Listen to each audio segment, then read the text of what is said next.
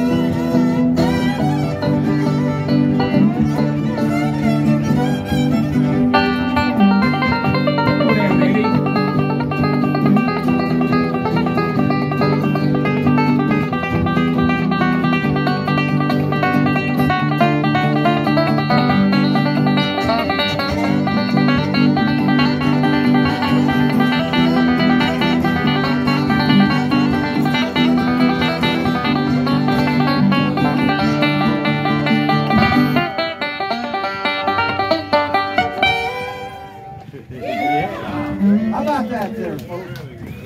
Yeah.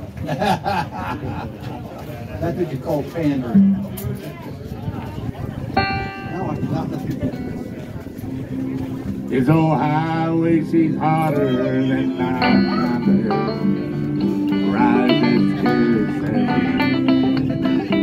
Get down to your last chuck with nothing to